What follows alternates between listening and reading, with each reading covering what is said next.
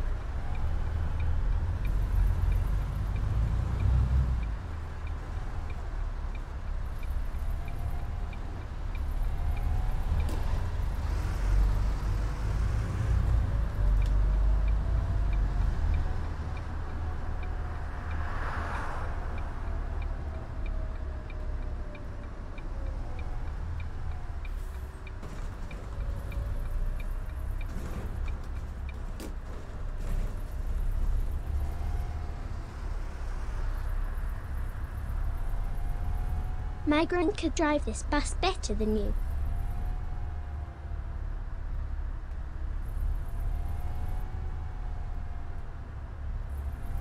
You're the worst bus driver ever.